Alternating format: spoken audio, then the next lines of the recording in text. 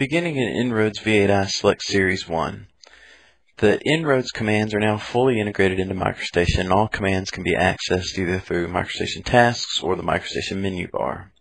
To show this, we'll first go to Applications InRoads Group, then to Tools, and we now have the option to turn the Explorer um, on or off. So we'll choose to hide the Explorer. Even though the InRoads Explorer is hidden now, InRoads is still active and running and we can access all InRoads commands through the menus.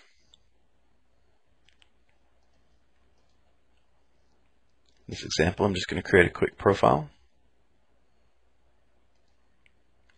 Or I can access InRoads commands through tasks. Some default task menus are delivered with the product in a InRoads DGNlib that we'll talk about in a little bit.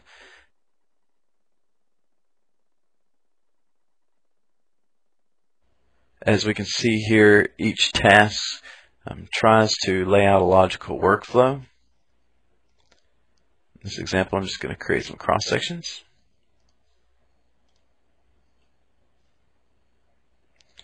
And then each InRoads command can also be accessed uh, through the key-in browser.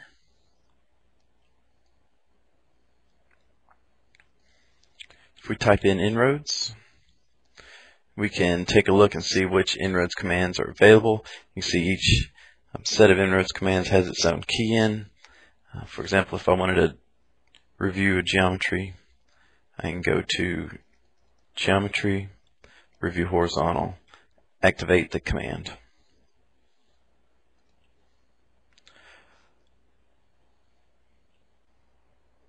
A related functionality now that InRoads is integrated in the MicroStation commands is the ability to access the recently used commands through the MicroStation right-click menu.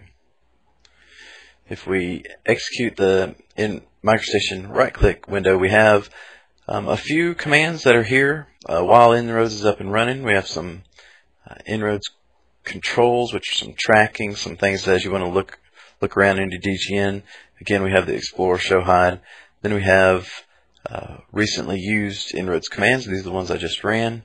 And we also have a recently opened file list in the InRoads right, in the MicroStation right click window.